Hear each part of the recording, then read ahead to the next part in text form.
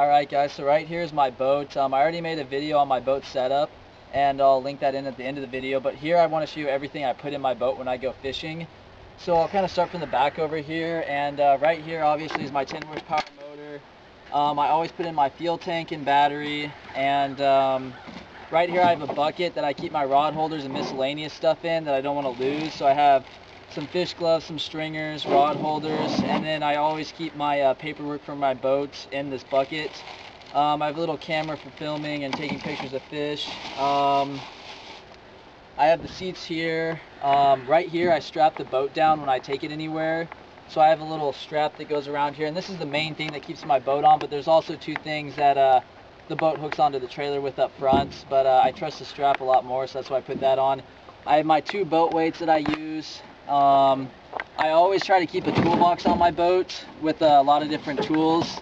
Like last time fishing string got caught in my trolling motor so I had to take it apart and um, get that fixed. Uh, tools are always nice, especially if you're going a ways off from the boat ramp. Um, right here I have a whole bunch of poles. I'm going to be catfishing, trying to catch um, carp, all kinds of different things today. So I have probably maybe too many poles actually, but always good, good to be safe than sorry. I have my trolling motor right here. I have a little cooler, which I have some frozen shad in, and I also have some uh, other baits, my worms in here. So, um, kind of cooler for baits. I have some waters in the back I always bring. And uh, I have three life jackets. I'm going out with two friends today. We're just about to put the boat in the water here once I get it all tidied up. Bring my tackle box and um, right here, here's this string with the boat, and I always kind of tie that down somewhere so it doesn't blow around, and I use it to tie up the poles when I'm going.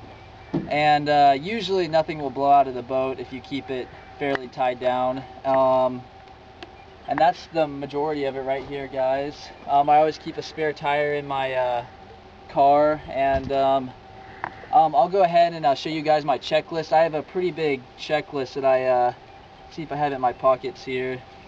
Um, I don't, but at the end of the video, I'll go ahead and like show you guys my checklist, and I have a checklist of about 20 items that I check off every time when I'm about to go fishing. So uh, thanks for watching, and uh, good luck fishing.